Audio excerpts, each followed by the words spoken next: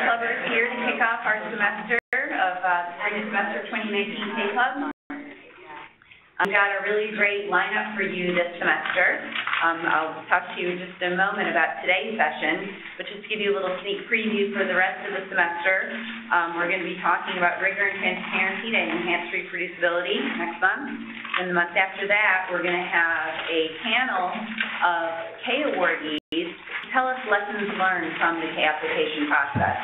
You know, what's their grantsmanship, what's the real, what would they have done differently if they had to do it all over again, that sort of thing. I think that'll be really valuable to hear their insights. And we're going to uh, dive more into the mentor-mentor relationship through some case studies that I think you'll all find really interesting. And just a little bit of a, a plug for that one. What we really want to do is sort of pose it as hypothetical. So I have this friend who's having this problem with their mentor. What would you suggest? So be thinking about those hypotheticals, and you can send them to me, and we can put those as our case studies for that session. And then we're going to finish up the semester with uh, communicating your science, best practices for different venues. I it'll be a shape up to be a really nice semester. Um, as I always tell you, uh, so I'm, by the way, I'm Stacy Heilman, Director for Pediatric Research Operations and Co-Director of the K-Club. And as I always mention, is we really um, crave your feedback. We want, this is all for you. We really want to know what you liked about today, what you want to see more for the future. Um, and many of you may recognize the topics that we have slated for this semester because, quite frankly, we, they're all from feedback that we've gotten. So please, please, please make sure you respond to the survey uh, that Barbara will distribute after today's K-Club. And then you will be entered into the Crown Royale bag in the running to win the K-Club mug. It's coming in limited supply, so soon to be a collector's item. And all of you really hope that you, your name will be drawn out of the Crown Royale bag from this, from the December K-Club, everyone who responded with feedback. I'll have our speaker do the honor.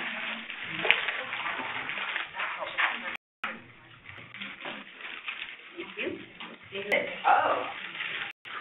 Daniel Runco. All right. I see Daniel? Oh, okay. Well, he'll, he's probably on his way, but we'll make sure Dan gets it. Thank you, Dan, for your feedback. All right, so today, I can't tell you how excited I am about our speaker today. Uh, Lakshmanan Krishnamurti, or otherwise known as Dr. Krish, um, at, came to a recent K-Club at last semester, and again, I've never had this happen before. I was really excited. He came up and he was complimenting the K-Club and the interaction of the K-Clubbers, and said that he would love to give a presentation on mentorship. And this is a this is a, a format that we've not followed before. Having a mentor come in and, and share with us his experiences and his ideas for best practices, and I think that it's just wonderful. I'm so grateful for coming to us for that. So uh, Dr. Krish is a professor of pediatrics and the director of the BMT program in the Aflac Cancer and Blood Disorders Center here at Emory and Children's. His areas of uh, interest in research are clinical research in hemoglobinopathies, hematopoietic stem cell transplantation, and the systems approach to the delivery of health care. He has a successful track record in extramural funding, including from NIH and PCORI, and he is uh, the, the faculty leader of a relatively new offshoot of our pediatric biostats core, the qual quant qualitative core. Um, and so in addition to all of these great credentials he has as a scientist, I have to say, having sort of a, a, a viewing him as the, the qualitative core leader, I've really admired how he mentors people at all levels of the organization. He takes a keen interest in what people are doing, and really himself, I've seen with my own two eyes, practices best practices in mentorship. So please join me in welcoming Dr. Krish. Good afternoon, and uh, thank you for coming out. Uh, so, uh, you know, we're all mentors and mentees, right? Um, and we have a pretty good idea of what it actually means. We have to actually talk about it the risk you run is uh, presenting a long list of platitudes. So I thought, well, how am I going to address this um, in a slightly different way? So I thought, why not look at stories of mentorship, you know, from ancient times? Actually look at people who analyze this and, and sort of uh, look at some of the findings, and especially the ones that I agree with. Um, and also look at some contemporary, um, thoughts on mentorship. Um, and I have a few case theories, um, and see how we can apply those, uh, to those cases. Um, and then we'll leave you, uh, with a prayer for the mentor and mentee, uh, in the end. So let's start with the Old Testament. Um, so I just want to tell you, I have no expertise in the uh, but have good sources. Um, and, um, so, and that's the source that I have, uh, included at the bottom. And so let's start with our first story.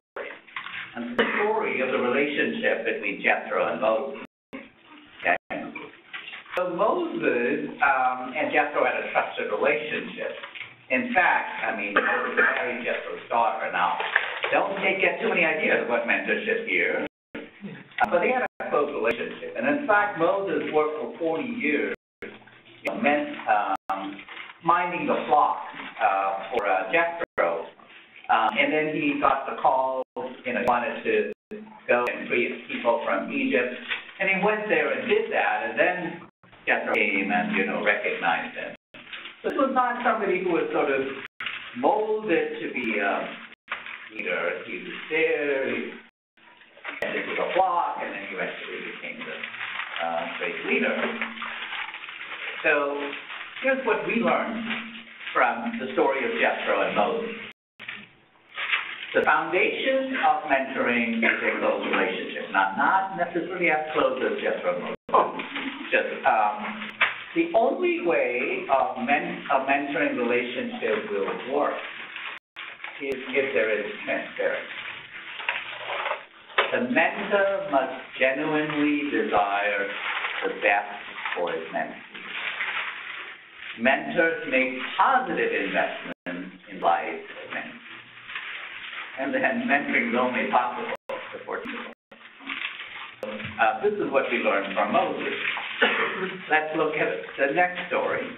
But Moses, from his experience in mentoring, I think did an even better job with being a mentor. He actually picked Joshua. And Joshua, incidentally, was one of the twelve spies of uh, Israel sent by Moses uh, to Canaan. And then actually, Joshua, after Moses died, became the leader. So, um, this is a beautiful painting. I didn't paint it. Um, so we learn from the story of mentorship, Joshua by Moses. Which was, was selected for mentor because he showed good potential. So that's one of the things that come up when you select a mentee, or you get a mentee that happens to be assigned to you, or is tending you a flock. Joshua then had initial success. They had the victory at Amalek, and he was given opportunity for further service and training. Joshua learned including a lesson of humility from Moses. Joshua believed in himself. He had courage, even when others didn't believe him. And so Moses actually prepared Joshua to receive the baton of leadership. And then the day came when Joshua had to step up and lead the people without Moses' presence. So this was a systematic and organized preparation and mentorship. Let's look at another mentorship that didn't turn out that great. And this was uh, Samuel and Saul. So Saul, as you can see in the picture, was a handsome and well-prepared young man. He was clearly going places. He had so much potential and natural ability. And of course, uh, Samuel, um, you know, mentored, mentored him. He t- Saul started off pretty well. He, it was, became pretty obvious pretty quickly that he had character flaws and he wasn't going to succeed. And Samuel tried his best to mentor him and get him back on track. They were learned. Mentors only do so much. Uh, mentoring can be a heartbreaking thing. You can put in a lot of effort into mentoring and it may not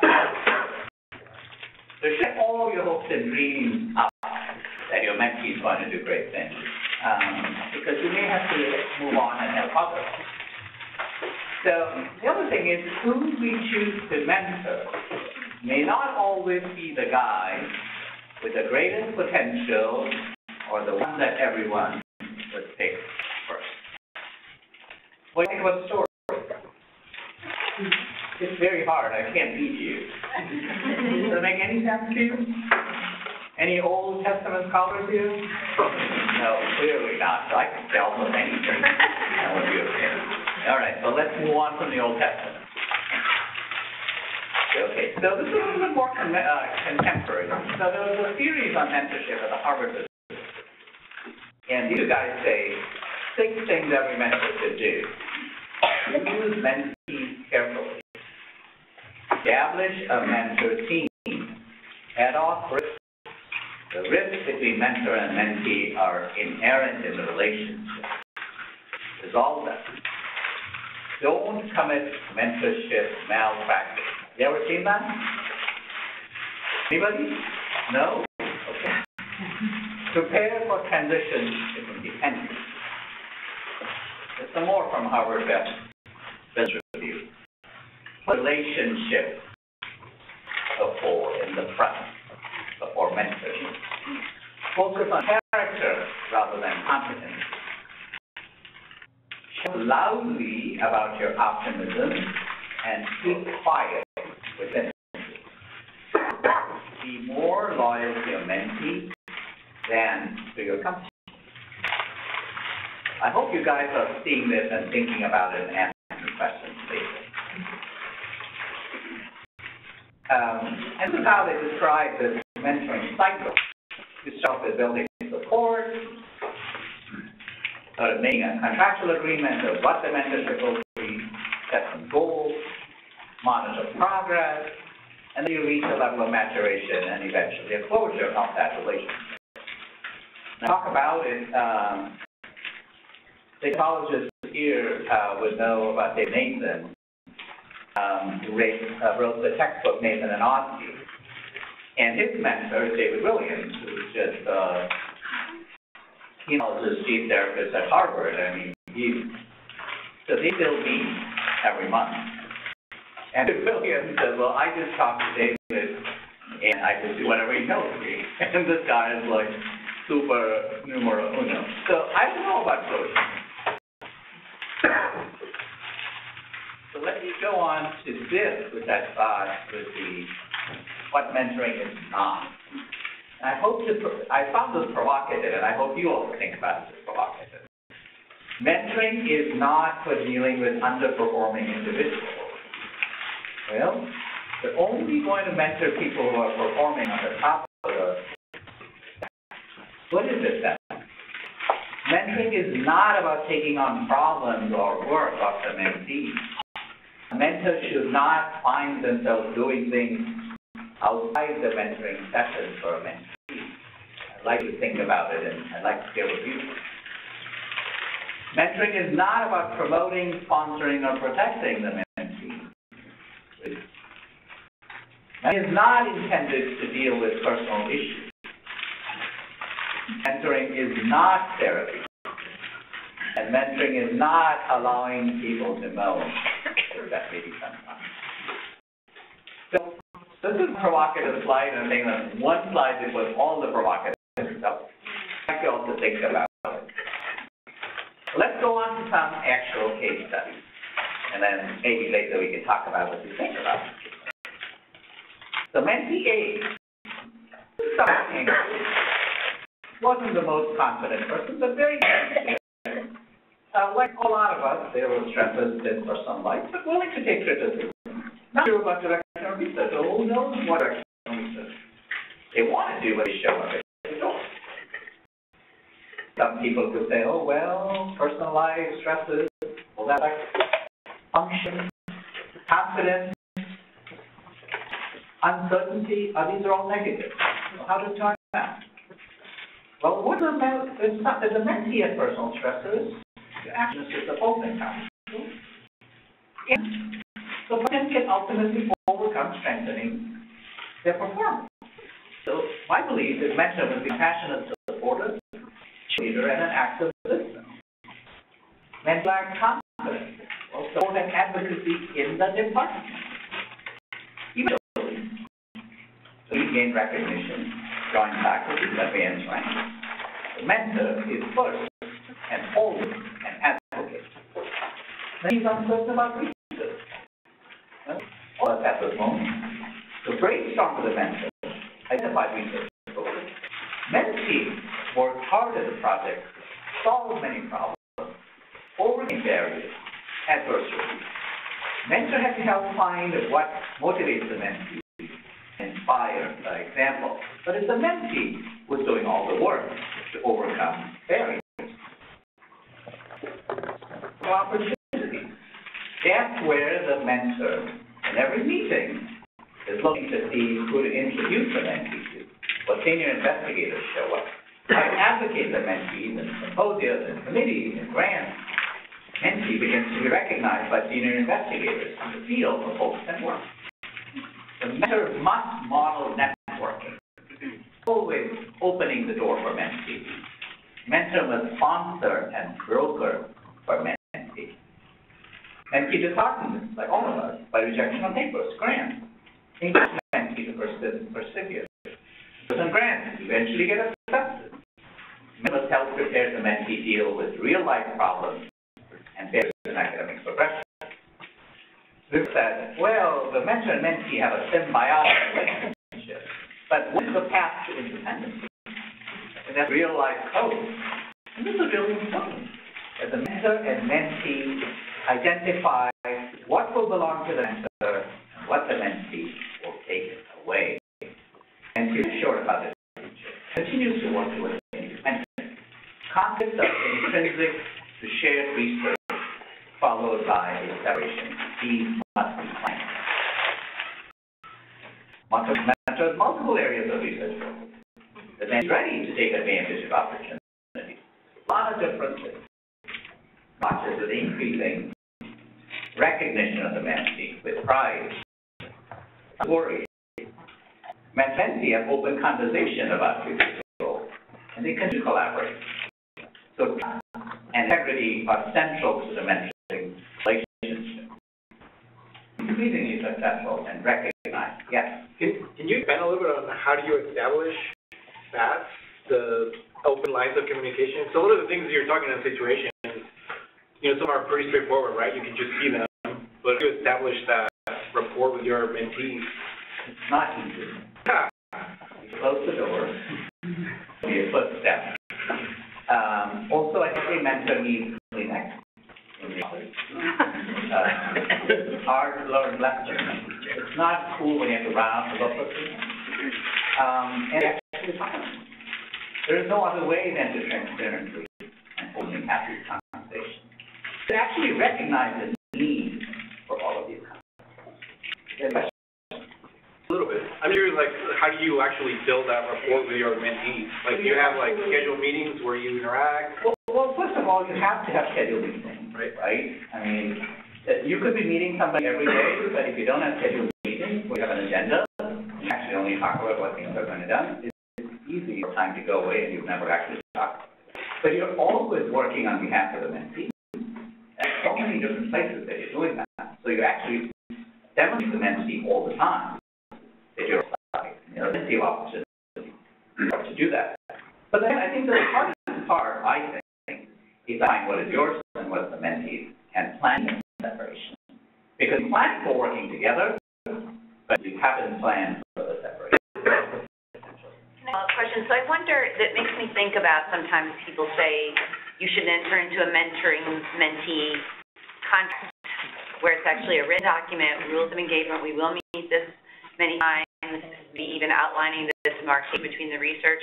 It feels kind of prescriptive, and I know some mentors are just like, yeah, I wouldn't do that, but I wonder, I mean, do you do that? Is that, have you seen I. I, I would say having a recurrent meeting is extremely The con, not so much. Uh, depends on, on you. Um, and, and, and as I'll show you in, in the uh, slides, I mean, not every mentor and mentee meet at the same level. And so relationships are very mentor-mentee. Um, then the questions about having what is meant and what isn't, the boundaries are, um, I mean, there are extreme issues where people have crossed the boundaries, which is problematic. Uh, even, um, it- within the, you know, to standard deviations, there's a lot of variability. What you might do for one entity and another for another. So this, uh, MenTV is, didn't have all of these issues, self-confident, conscientious, not really sure about the direction of research. I really want to do research. I'm a fellow activist. I really want to improve care. So uncertainty about uh, research focus and research risk, uncertainty wanting to research of force. I'm a clinician, you know, clinical research. Um, no personal stressors. Uh, really no personal involvement in sort of trying to overcome them. That's it. So, gaining recognition, doing good. Something about research, well, you can sit down and brainstorm and figure out what you have to do. You know what you have to get done in this period of time, and something that'll give you a good paper and get you out in the world. And mentor, mentee is able to do this. Then multiple areas of research, and mentee is really not interested in, fine. You may not see eye to eye in everything. Mentee and mentor clearly had a problem from the beginning. The mentee felt, oh, well, this is abstract, I'm the first author, I really don't know enough. I don't think you really get to do this problem. Uh, mentor and mentee had some conversations, know, pieces of. Trust and integrity are central to monitoring the relationship. After sharing communication. Opportunities, in investigators, advocated, networking, et cetera. Mentor successful, continues to act, um, and the institution. Apparently clearly understood that mentee was going to pursue a new line of research. Mentee a grant based on mentee's data.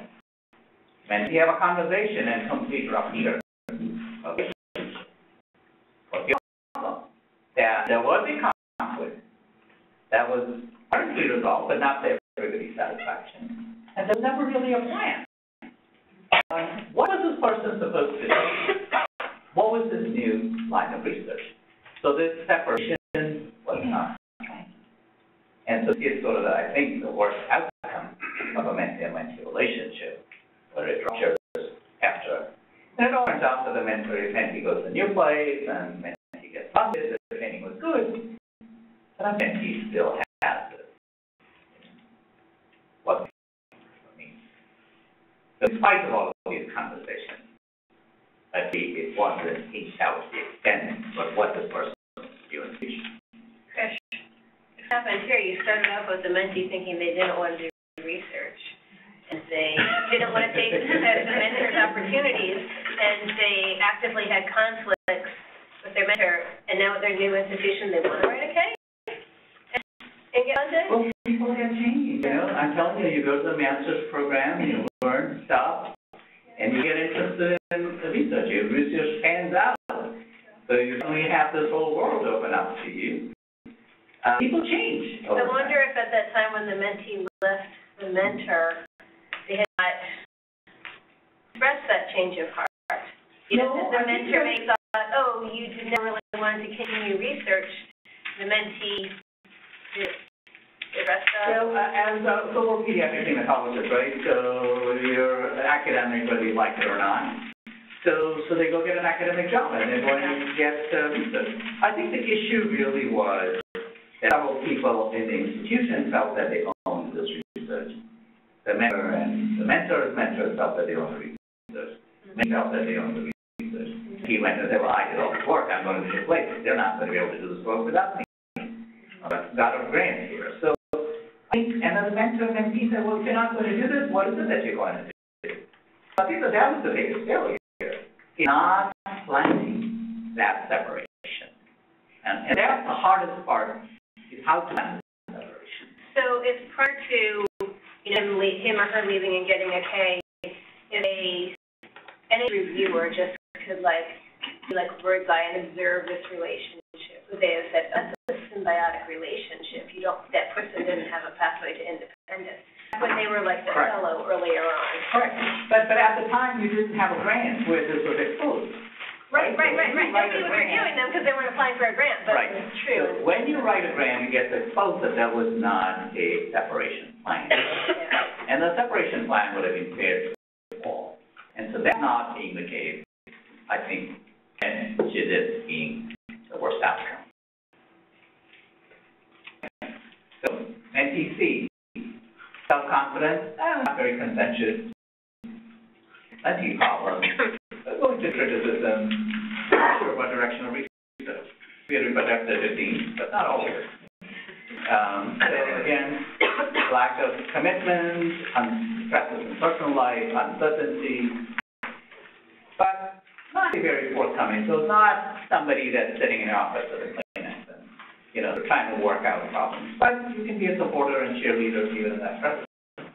Um, but even if they're lacking commitment, you can support and advocate for this person who met the requirements of the training. Mentors always can advocate. And about research, so you can sit down and brainstorm. We actually complete that research and dig through it. Um, and continue to advocate to introduce them to senior investigators. Eventually secures a faculty position, advances the clinical faculty, naturally going to do research later. But ultimately, you have to prepare the mentee to deal with like the way they want to do. Um, but you can't really make them do stuff they don't want to do. Mentee level faculty, mentee, mentee, a good friend, uh, doing research together anymore. So, you think about this relation? You can go so far as the mentee. Yep. All right, uh, should it be or E? Okay, so this is another, this is somebody who's a mentor, who actually did research and quit research and had multiple career changes, and they actually took a staff job on a research project. Far away from research, a multiple career change, straight from primary research, traditional research training job, not the place you're looking to mentor. Um, generally doing good, uh, pretty confident, has been uncertain about research. But you can sit down and brainstorm, and the mentee works hard at it and actually figures out a new research path, either in an unconventional way. And then the same thing, again, networking, advocating, and the mentee redefines career goals and actually takes the research path from having given up research path. Back to lessons learned, smart working, prepare mentee deal with lights and barriers, and the first is in- encourage support. Uh, so, and this mentee is actually doing really well and is being recognized and is growing. Uh, so I think it goes back to the same issues of trust and integrity, continual communication. What do you think of this relationship? Somebody was going anywhere, is actually going back in research. Case study, he was a star, a superstar, get-go. Content, conscientious, efficient, not sure about district's direction of research, but willing to accept guidance. Now, don't goals, but anyway, willing to accept guidance.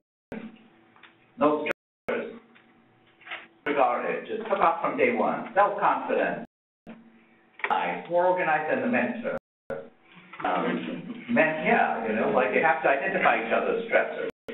Um, and, men found a good area of research, got funded, um, got recognized nationally, um, you know, um, really doing extremely well, identifying what you're supposed to do a mentor. He expresses major life. So you have already succeeded in research, and now boom, mentee has to go on. The the mentee, deal with his life problem. Try to figure out how to hit the reset button on research, a new direction, and be actually able to reset and actually go to another institution, another career path, another mentor, and then and to grow as a mentor is happy, satisfied, and again, as a mentee, and again, highlighting that trust and integrity central question. So giving you a few, uh, theories, and then we can talk about it, but I want to here with prayer for the mentor and mentee, okay? So this is from the Vedas, and I have given you a literal translation, and within brackets are my tongue-in-cheek comments. So just so you know the difference between the translation and my tongue-in-cheek comments. It's how main protects us both. We always get good reviewers and never get pooped. Okay? May he nourish us both. Grand coming. May we heroic work together. May always question the existing paradigm. May together be enlightening and brilliant, and we describe these new mechanisms that will keep on funding us. Practical people, maybe not hate each other.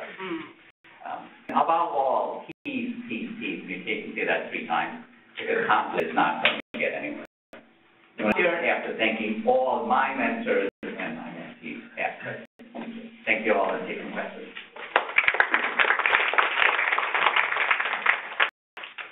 Questions? Yes. What's that? Did you say that the mentor chooses? Sir? Did you say that the mentor chooses the mentor?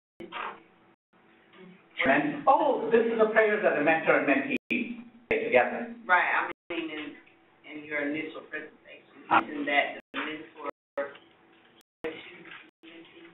Oh, yeah, what do y'all think? Choose your mentee carefully. What do you think? You just have to work with who's in your field. Yeah. What do you think? Probably needs to be reciprocal. Right. One colleague in Pittsburgh said, you always get the winners. Like, no, they all win when we work together.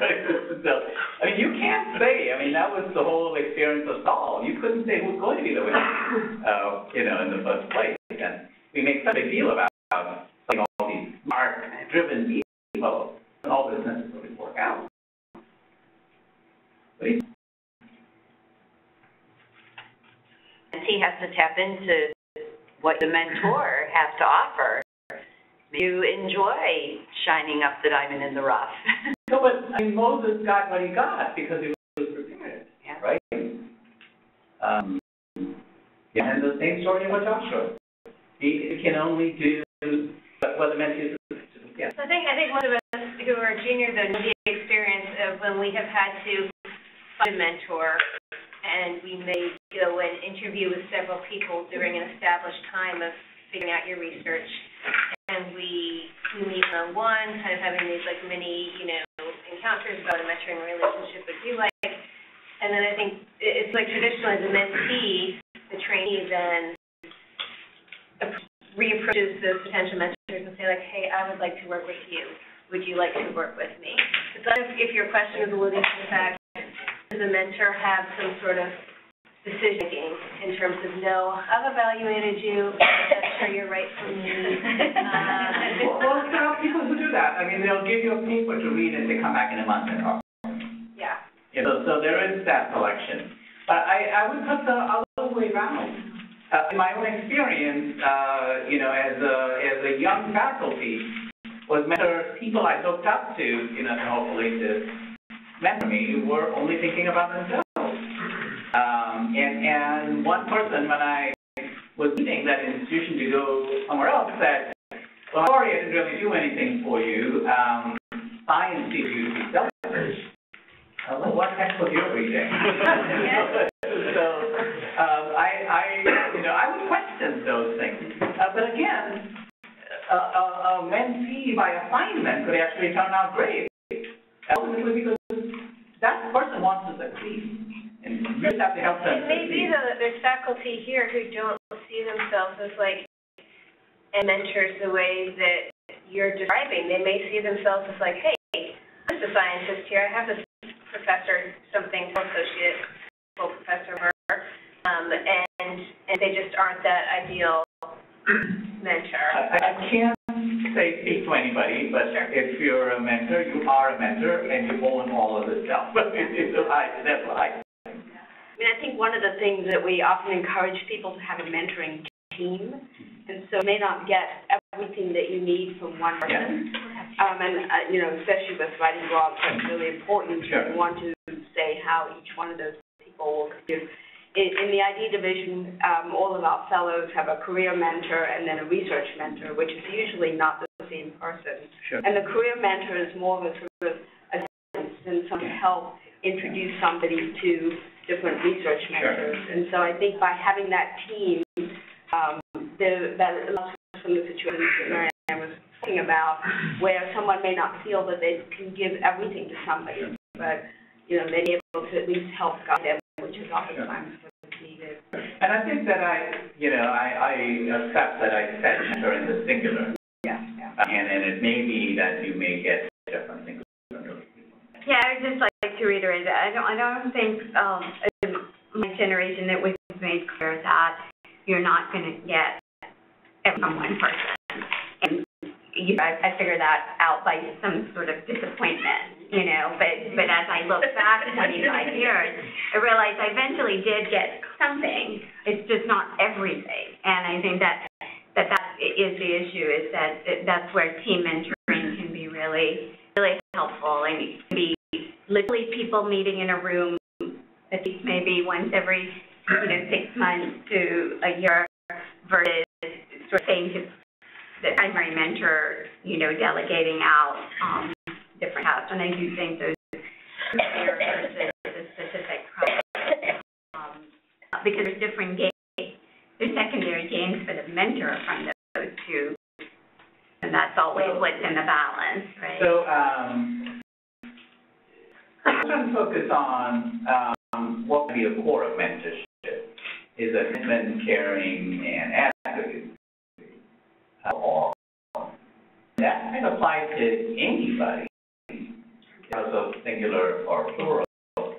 However, I didn't touch on what, what's in for the mentor. And partly because I was trying to be data-driven, it's really hard to be data-driven on this. Uh, so what do you think there is in it for the mentor? What do you think about, what would the mentor get out of the mentorship?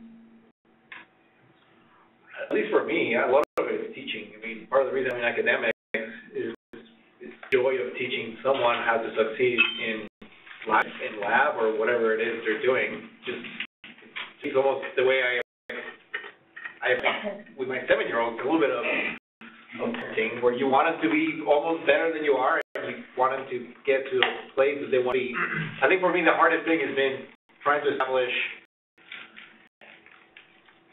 where that person wants to go. Because this is, they don't always know, and there are things that just, you know, I was going through my earlier question earlier, on how do you establish that line of trust so that you even build over time? Or you have one of the examples where they change what they want to do with their career, Yeah. and how do you help them? And when you, when do you identify that you may not be the best person to get them there, and you kind of try to kind of help on that? Um, and it's a moving target. It it is a moving target, so, so some things you can say, well, uh, I'm sorry, seventy percent of pediatric hematologists are going to work in an academic setting. So, um, your best chance of getting hired are if you do research and get your research succeed. I mean, similarly, you have to graduate your PhD, so you better get that research done and you get it here. Um, but beyond that, I mean, if somebody decides that they don't want to keep on doing it, or they want to go in a different direction, you just have to respect what they want to do, and you can't what they don't want to drink. Uh, and I think we all make the mistake also, that we've drunk the Kool-Aid and we want you to drink the Kool-Aid. And they may not be quite ready, uh, for that, and that requires a little bit of coming down with yourself to be able, um, yeah. Hardest part, I think, is that you conceiving together, you're so involved in it, how do you separate? And if you don't do that, it, that can what a really bad outcome. Um, comment would be that there's, just like differences in mentees, there's also differences in personalities for the mentors. I think it'd be important as a mentor to identify your own character, mm-hmm. characteristics, or what, what, what makes your anxiety or, or what your mm-hmm. limitations are. Mm-hmm. Maybe then you can help identify who might be a good mentee for you that's maybe matched, or maybe the opposite. You have to decide what. That's a great point. So, so when is the mentor not feeling threatened? You know, look, the when the mentor not saying, well, my, it's my selfishness that I'm trying to, to be. So, so that's why I think that you have to be at some point of being okay, uh, in a career. Probably what I've most uh, enjoyed in my mentors are people who are creative and people who are just sunshine. So I think that if they walk into the room and bring sunshine with them, I do anything for that. I mean, I'm telling you like recent experiences. Yeah. Guess I was just kind of the, how often do you really think that mentors and mentees choose each other because of personal characteristics versus the specific topics that they do? So you study this particular organism, you study this particular hematologic disease, you're the person for me at this institution where I am right now. That's how it really happens, I'd say the majority of the time, don't you think? And then you to just be fortunate or unfortunate. And if you're unfortunate, then you seek out more mentors, I guess. So, great point. So when we were fellows, um, we had this mentorship talk. We had people who gave the talk, uh, both of whom are department chairs now. One said, well, I knew I was going to work on Candida, and I walked up to him and said, am I going to work in your lab? So I want to do. The other person said, I'm a good guy, you know, and, um, and do what I asked him to do, put me to work. And it sort of comes out in the wash. I mean, it could be um, either path. And the other thing, and I, I actually put my hand up for that question. So I was like, yeah, but there's nobody here who does what I exactly want to do. And she well, just find the person that's closest to what you want to do. And that'll put you, you know, be a different spin on what you want, which is what I did. Uh, Yeah.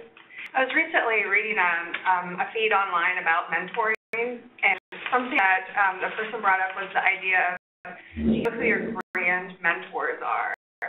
So the people who mentored your mentors, and this whole idea of legacy building. And I thought that was a really unique way to think about mentors in terms of, um, you know, people who are going to build upon what you've done and carry pieces of your work forward. So your mentor's mentor. Yeah, it was it was just a, and it got me really curious to think about. I wonder who my grand mentors are and what were they like, and they had to have, they had to have been really unique people to have cultivated these people who did such great things for me, and I just really like the idea of thinking about that. Yeah, I never got to meet my uh, basic science lab first grand mentor, not basic science, that gives you that right. Um, and then my clinical and translational research mentor had taken his mentor's to court. Yeah, you don't want to know that. That didn't help. So, um, I mean, he brought innovation and inventiveness, but he didn't really know how to advocate for people, you know, beyond the point. So I think we're always also always learning how to do this. It's another big add to your job. Sometimes uh, it shows that what do you think about talking to others who have been mentored by that person? What, what is, what's your experience with that? Please, then, you got the, you got the cup today. well, I think, uh, well, I think it's actually helpful to talk to other people who have had similar mentors or similar goals.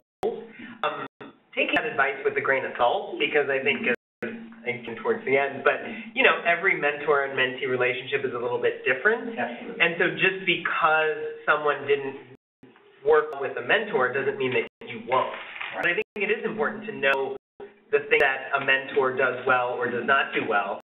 Or from a flip perspective, of knowing the strengths and the weaknesses of his or her particular mentee can make the relationship, as you said, more fruitful for both. I, I think you're exactly right. Finding the strengths in that person and the potential in that person is what's most fascinating. So one of the things that I personally think that you get out of a mentorship is finding the spark in that person.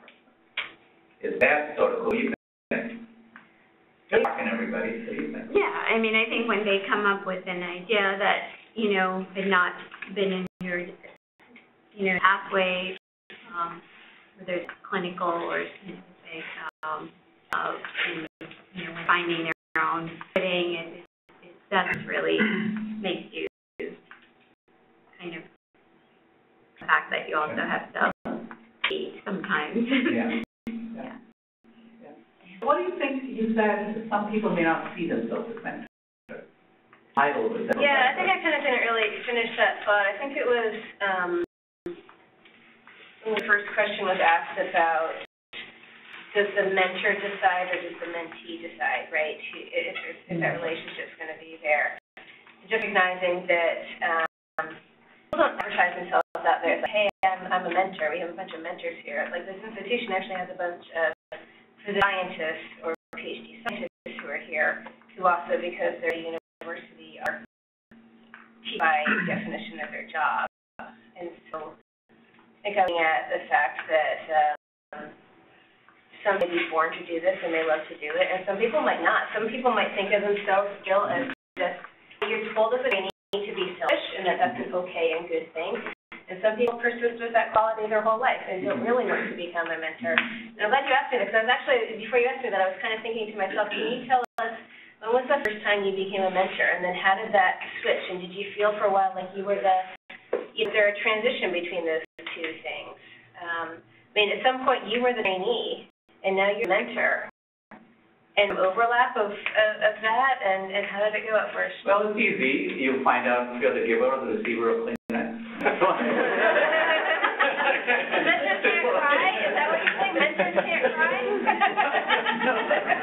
Well, mentors don't want to cry, under you. Go ahead. I, I was just gonna say, I think anytime you're in a supervisory role, Yeah, Yeah. you, you're mentoring. You may not see it as mentoring, you may not think of it, but the minute that's true. you could be But some people under do that, it. you're helping someone. Yeah. It's mentoring, yeah, I mean, it may not be exactly, you may not have a Yeah. written contract, but Yeah. anytime you're helping someone with their life or career, you're mentoring. Now, we just, romant, I don't So say that's what you're saying, romantic. it's not official, it kind of creeps Right. up on you, yeah. Yeah, I mean, but, I mean, we talk about this, right, that you're interviewing all the time. Why are you interviewing all the time? Some of it is because, well, I may want to get a job later, but also because people out here looking at you and in a professional setting, they're gonna be looking at you and, hey, I'm gonna be that, or I wanna avoid that, you know, that behavior. That's when I was, uh, learning how to pour gels and cut DNA in the lab, I mean, the, I was mentor to the person who was washing the glass. You know, so it's, I mean, it's a continuum. But the point, I think, is, uh, when you're in mentally okay, Mhm. uh, who you are and where your career is, when, that's when you make the Yeah. transition to really being able to be a mentor. Yeah, I was just gonna say that I think at all points in a career, we're both being mentored and mentoring others. So like even as a resident, I would certainly be a mentor to the medical student, right, for better or worse, or whatever that is. And the attending is like my mentor, right? And so at all like points in our, in a career life that, you know, not the grand title on it, I think that that element kind of is through all of those, you know, relationships or whatever stage you are. It goes like up and down no matter where you are. What you want to. Oh, I was just gonna say, I also add chocolate to the Kleenex. Ah. I am so glad I came here today. This is the one ingredient that was missing in my mentorship experience. Thank you. That occurred to me. As you can see, culturally, I wasn't ready. In our case studies, it was always the mentee had no idea what they wanted to do for research. What about in case where the, the potential mentee knows they want, they find the closest, um, match across campus somewhere, and then, so they need to approach that mentor, what, what would the, what is the mentor expecting, um, what should the mentee Sure. do to establish a new relationship? So, um, you're all, you're only so lucky, um, when that person walks in the door. And I tell you, um, a friend of mine, um, from med school, um, lots of stuff in his life didn't work out, but his son is a professional golfer at the highest level. Dad mentored him the entire time. And people ask him, so how did you get your son to be this guy? And he said, well, what you do is love and stop trying to get in the way of where destiny is trying to take him. So I think that somebody like that is going to go places. You don't add conflict or your, your little selfishness get in the way and that person. It might have been so. That's really better than getting you up that. I really appreciated your comments about trying to head off conflict at the pass, keep open and transparent communication so that you can try to reduce conflict. And I was wondering if you had like a specific example of maybe a near miss you saw. Oh no. You saw like your relationship with your mentee was maybe headed in a conflict direction, and what did you do to like redirect that and, and prevent sort of that chasm from happening? We all have insecurity and, you know, little jealousy. Right. And, and you see your mentee paying more attention to your colleague and your rival. Okay, and then this is a simple example. Sit down and talk about. No other way than to actually talk about it. And to create that environment, you can talk about anything. Yeah. So thank you very much. It was a lot of fun. But chocolate, that's the message. Also, we need to Oh, what. I won the mug? Oh, fantastic. Oh, absolutely.